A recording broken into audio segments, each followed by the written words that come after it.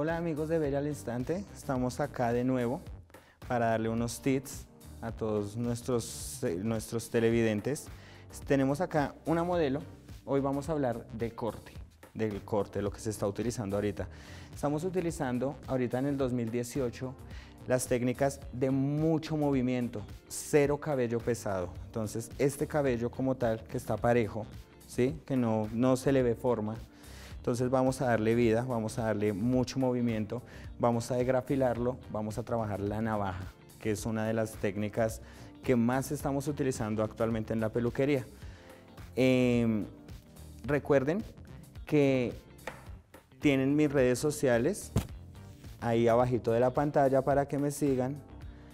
Como les decía antes, para que nos pregunten cualquier inquietud que tengan. Entonces, bueno, en este momento vemos que este cabello es un cabello pues seco, ¿sí? Es grueso.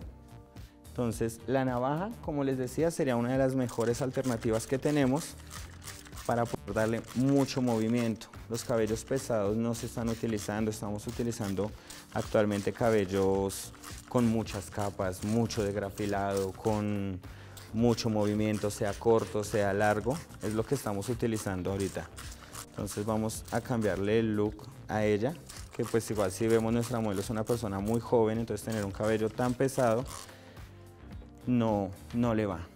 Entonces lo que vamos a hacer es dividir el cabello ¿sí? por la mitad, acá, hasta la parte de atrás. Luego de eso, ya teniendo nuestro cabello bien separado, de que nos quede muy bien la línea, depende que el corte nos quede bien. ¿sí? Entonces acá vemos, tenemos bien separado. Entonces traemos nuestra modelo hacia el frente, echamos y traemos todo nuestro cabello hacia nosotros. Lo pasamos por encimita de la oreja, ya les muestro hacia allá en la parte de acá. pasamos nuestro cabello desde acá. Una de las de los, de los consejitos que yo podría darles para el corte con navaja, hay muchísimas clientas que no les gusta porque dice que se les abre las puntas, que el cabello se les reseca.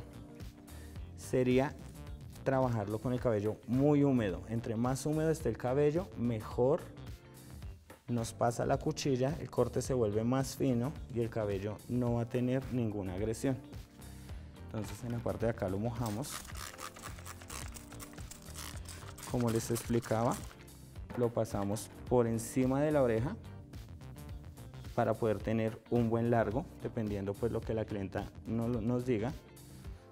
Traemos el cabello hacia nosotros, no lo dejamos hacia abajo porque entonces estaríamos quitando mucho más cabello. Lo traemos hacia nosotros, acá, y procedemos ya teniéndolo bien liso, como si fuéramos a coger una moña, ¿cierto? Entonces ya teniéndolo bien liso, entonces procedemos, yo trabajo con barbera, no sé si posiblemente a ustedes les quede más fácil con la cuchilla. Miramos de acá, medimos, la longitud sería más o menos la mitad, o esperando a que nosotros conservemos el largo de acá. Como ella lo tenía tan parejo, pues no vamos a ver el largo. Desde ahí empezamos a cortar. Ahí ya nos vamos dando cuenta que ciertos cabellitos empiezan a caer. Siempre bajando, devolviéndonos a la parte que ya empezamos a cortar, no nos podríamos devolver porque entonces va a quedar muy marcado. Entonces siempre bajando el filo de la navaja que siempre se hace a nosotros no grado. Lo que les digo, no marcar el corte. Así vamos quitando peso, vamos dándole un efecto de degrafilado a todo el cabello. ¿sí? Entonces acá lo hago más suave. Todo el cabello que va cayendo es cabello que ya ha sido cortado. ¿sí? Este es el peso que les quitamos. Luego lo peinamos. Si queremos volvemos y lo abrimos por la mitad. En la parte de adelante, ¿no? La parte de atrás ya nos quedaba abierto por la mitad. Entonces acá volvemos, lo mojamos un poquito para que no se vaya a maltratar la fibra capilar. Recuerden que lo más importante de todo es cuidar el cabello. Entonces que se nos vea bonito, que se nos vea sano. Entonces mantenerlo húmedo al cortarlo con navaja sería lo ideal. Entonces levantamos la cabeza de nuestro modelo, lo abrimos por la mitad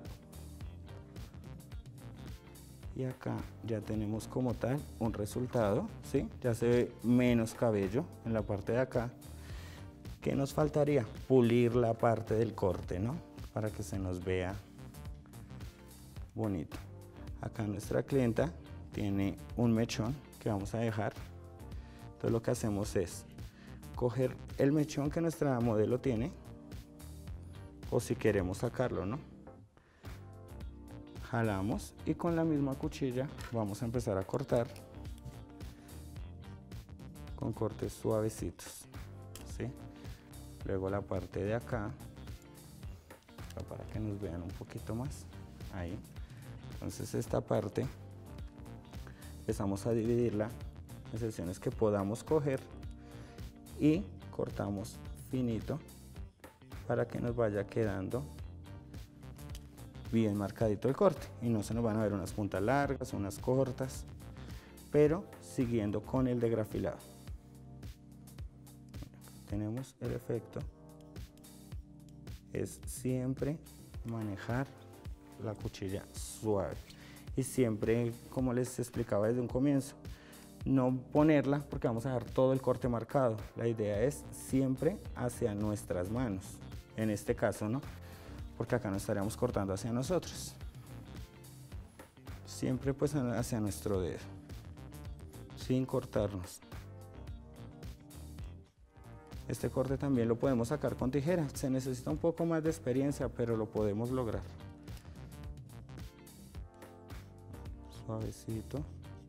Y así lo que les digo, no maltrataríamos la fibra capilar y tendríamos el efecto que nosotros queremos.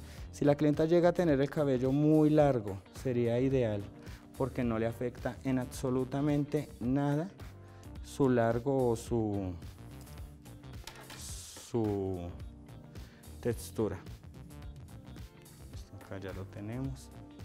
Vamos a, acá, acá. Vamos a mostrarlo en la parte de atrás para que ustedes vean como tal el resultado.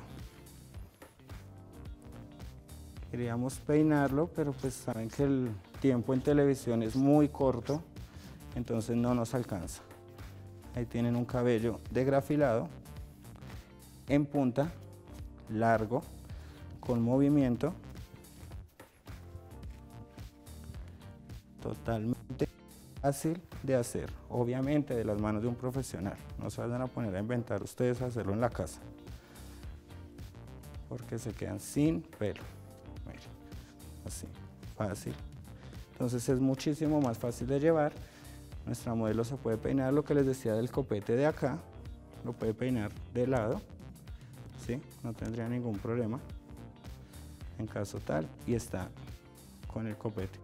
Si lo quiere llevar por la mitad puede hacerlo tranquilamente, no, no tiene ninguna marcación, no afecta, lo puede llevar por la mitad. Pero entonces siempre se va a ver muy fresca acá tenemos, ¿sí? En la parte de acá incluso da un, efecto como si tuviera el cabello corto y tuviera extensiones. Entonces ese es como el truco del corte, pero entonces de grafilado. En caso de que la clienta llegara a querer más, quitar mucho más cabello, podemos llegar a lograrlo, pero teniendo el cabello por la mitad. De esta parte, si lo logramos tener acá, podemos quitar el peso desde acá. Ya no utilizando el de acá, sino solo el de acá empezamos a trabajarlo un poquito y le quitaremos más peso. Como ella pues no le gusta cortarse tanto el cabello, entonces esto sería algo ideal. Entonces espero les haya gustado lo que les quisimos traer hoy. Cualquier cosa ya saben, están mis redes sociales en la parte de abajo de la pantalla. Pueden escribirnos, pueden decirnos qué les parece, pueden decirnos qué les gustaría saber, que les gustaría que les trajéramos. Entonces está acá, esto es un poquitico más como de crema moldeadora para que se le vean más las ondas. No sé si estén enterados que actualmente, como se está utilizando el cabello con tanto movimiento, la idea es mantenerlo muy despeinado. Hoy en día el liso, así no se está utilizando. Se está utilizando el cabello con mucho volumen, con volumen no, sino con mucho movimiento. Es lo que se está utilizando actualmente. Entonces ahí les dejo. Ese es el trabajo de hoy, lo que quisimos traerle. Espero entonces les haya gustado y espero vernos en una próxima ocasión. Bendiciones a todos.